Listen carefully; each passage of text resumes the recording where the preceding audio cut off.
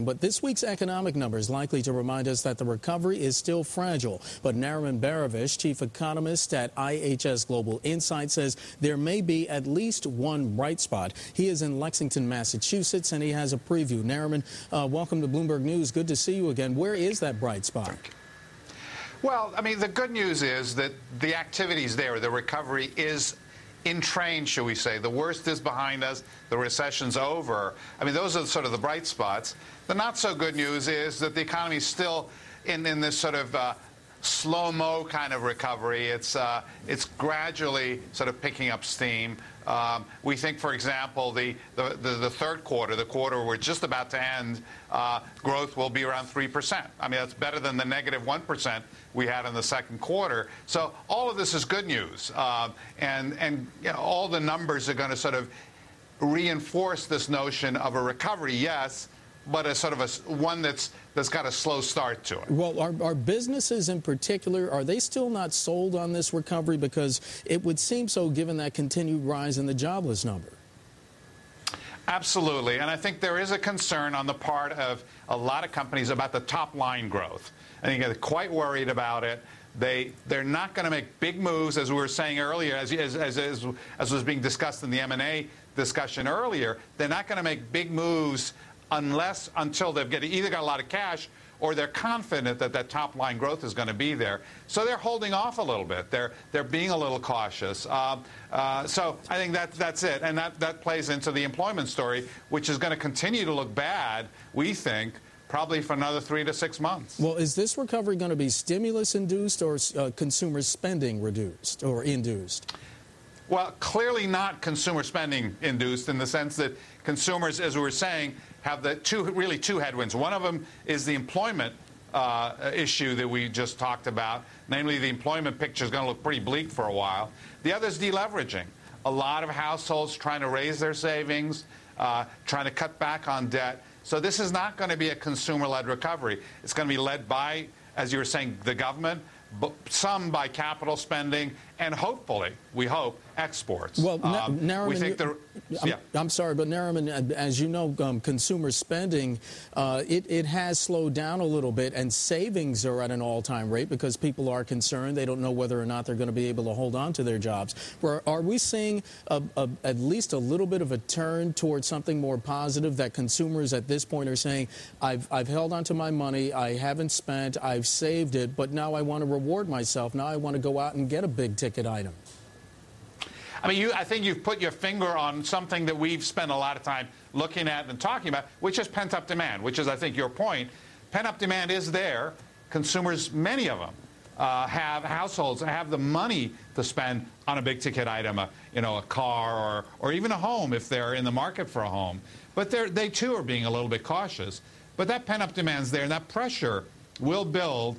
We can debate about exactly when that pent-up demand gets released, but it will be released. So consumers will spend, uh, but you've got, as I said, these sort of other headwinds that'll that'll sort of balance out a little bit. But but we have consumer spending, for example, growing at about two two and a half percent over the next year. Right. It's it's not great, but it's decent.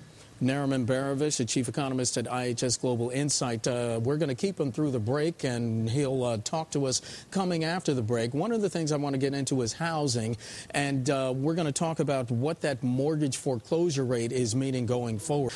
And we are back with Nariman Behravesh, chief economist at IHS Global Insight. He comes to us from Lexington, Massachusetts. Before the break, uh, I mentioned that I wanted to talk about housing.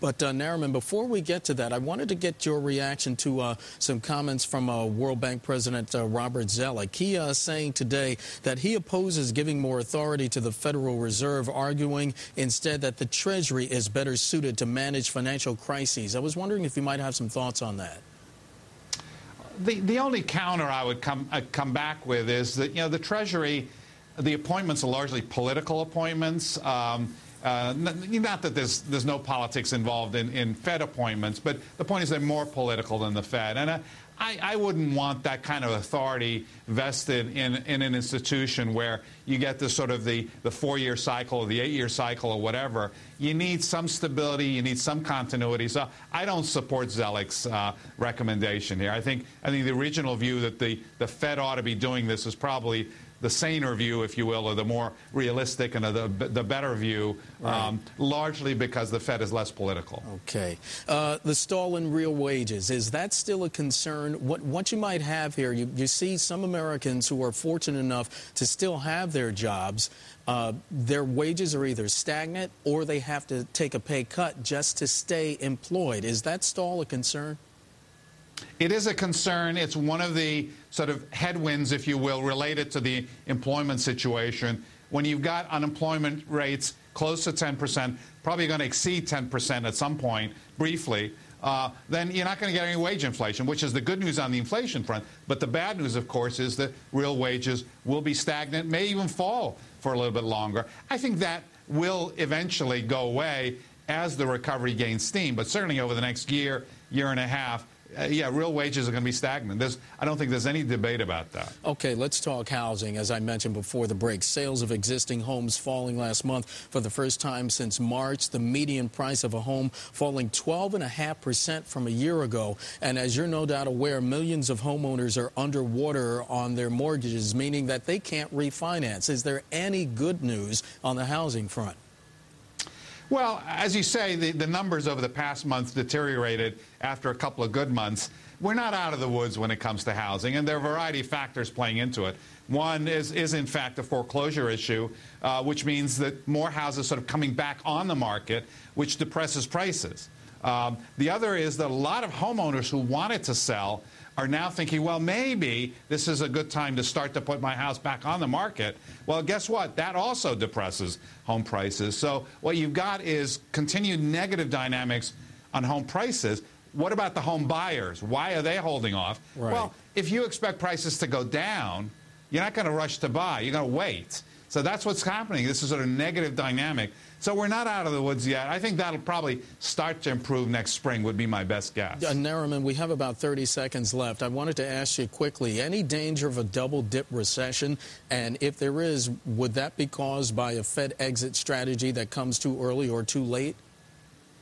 I put a very small probability on a true double dip, which is to say we go into negative territory. I doubt very much it would be triggered by the Fed. They're not going to do anything to damage this recovery, certainly not in the next year. Nariman Behravesh of IHS Global Insight joining us from Lexington, Massachusetts. Always good to have you on. Thank you so much.